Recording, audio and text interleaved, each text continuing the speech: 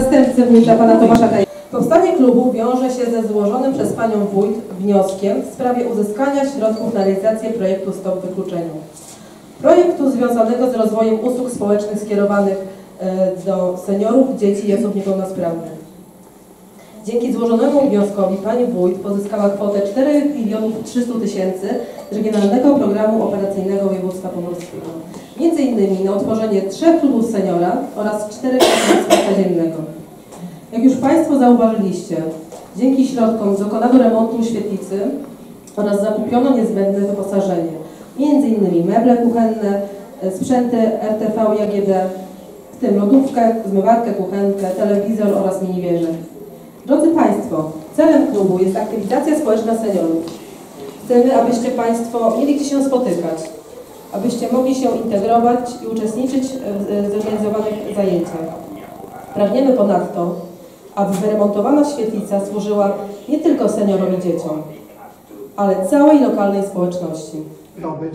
Pani Asiu, to podziękowania dla Pani Asi, dla Pana Dyrektora GOP-u, a przede wszystkim dla moich pracowników, którzy tam stoją tak cichutko w kącie. Pani Małgosia to jest ta Pani w okularach i Pani Angela, bo e, proszę Państwa, e, wniosek trzeba napisać, przygotować, e, e, później cała rzesza czynności ze zrobieniem przetargu, czy na remont, no nie ma kierownika jeszcze tu Pana Artura Kozłowskiego, czy z zakupami, jest to setki różnych czynności, które się składają na to, że taki jest efekt e, e, w tej chwili, a nie inny.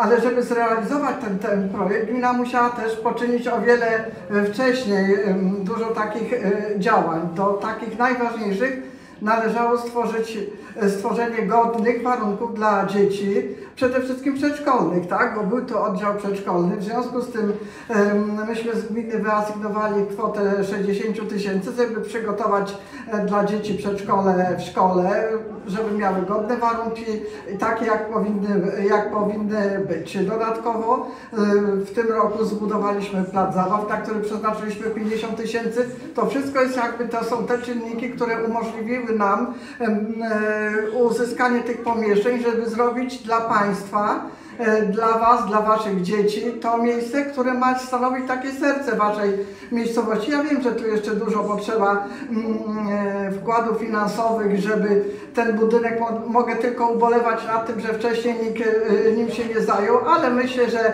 e, do końca tej kadencji, w najgorszych wypadków na, na początku przyszłej kadencji wyremontujemy dach i zrobimy tak, że Państwu nigdy kropla tu wody na głowę nie spadła, a żebyście to mieli tu, e, mogli e, zostawiać swoje pragnienia, swoje marzenia, spotykać się z innymi, bo to nie będzie tylko tak, że będą Państwo tu zamknięci jak gdyby w jednej miejscowości, bo będą też e, w Drewnicy, e, w Bronowie, w Nowotnej, będą punkty, gdzie będą Państwo mogli się wymieniać wspólne, integrować, wyjeżdżać na em, wspólne jakieś e, imprezy, e, wyjazdy, więc to jest taka, taka forma, która na pewno, na pewno dla Państwa i dla dzieci, które będą mogły tu skorzystać.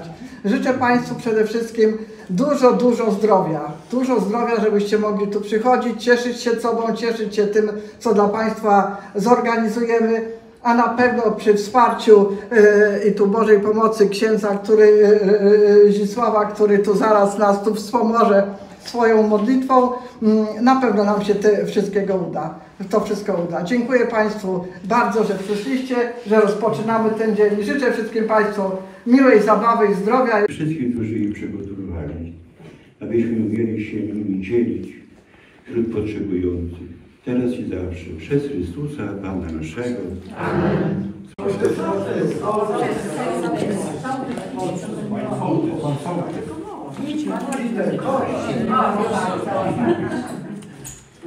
Do przecięcia.